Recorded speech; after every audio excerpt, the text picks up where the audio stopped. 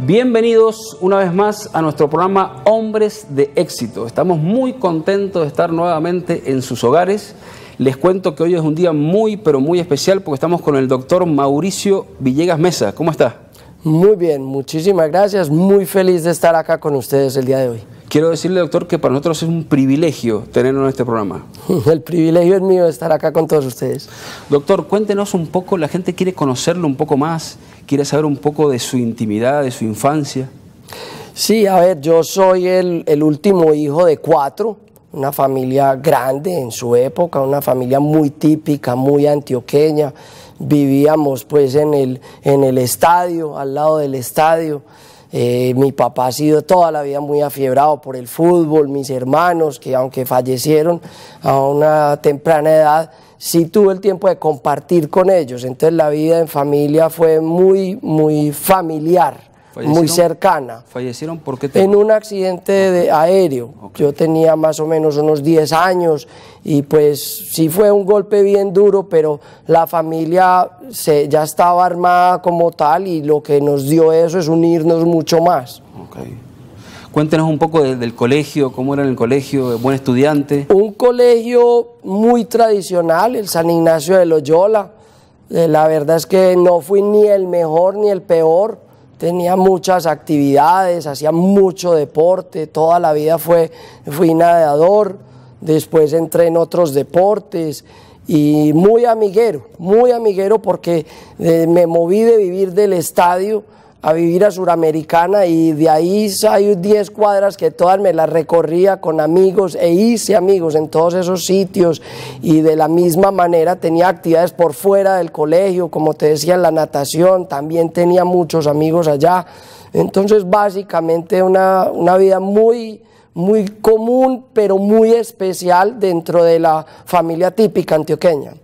¿Y desde joven ya pensaba en hacer carrera política y no, la verdad es que desde joven a mí me gustaban mucho las ciencias, las ciencias naturales y también la economía, pero no pensaba como ya entrar en el tema político. Yo creo que eso más bien fue algo que aprendí de mi papá, la sensibilidad por las personas, la sensibilidad por la comunidad y, algo que me quedó grabado es que uno debe empezar a regresar, a devolverle algo a la comunidad que tanto le da.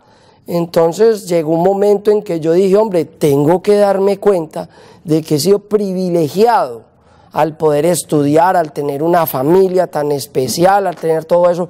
Y hay que empezar a regresar algo a tanta gente que le hace falta tantas cosas. Y por qué no ir ayudando al país a desarrollarse, a crecer en, ese, en esa actividad de ayudar y devolver tanto de lo que nos da la vida. O sea que toda su carrera viene de herencia de su padre.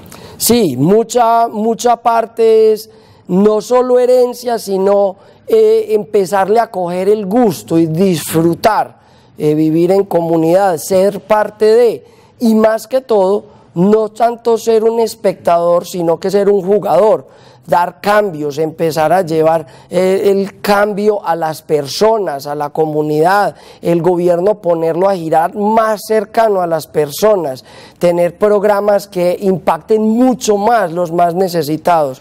Entonces ahí está el meollo del asunto, en, ser un jugador, no un espectador. Doctor, pero cuéntenos, la gente, eh, me encantaría saber cómo fue que eh, su carrera, o sea, cómo empezó a dar los primeros pasos y cómo llegó a ser lo que hoy es.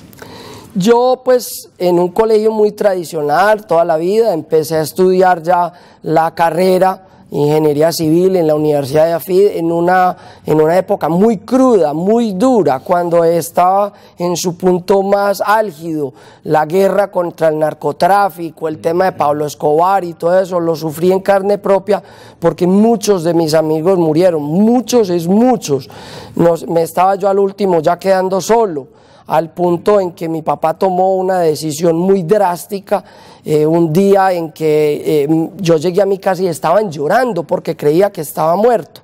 Entonces la decisión que tomó de mi, país, eh, de mi, papá fue de, de, retirarme, de sacarme del país por un tiempo prudente mientras pasaba todo eso, muerto de miedo de que no, no llegara pues a viejo por toda esta gran lucha que había.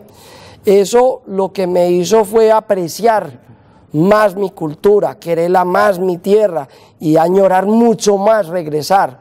Pasó el tiempo, me eduqué en el exterior, en Denver, Colorado, de la misma manera también cuando ya quería volver, todavía me decían que había que esperar un poco más porque la cosa ya el gobierno se la estaba jugando para terminar esta lucha y entonces me fui para Alemania en, a estudiar allá también.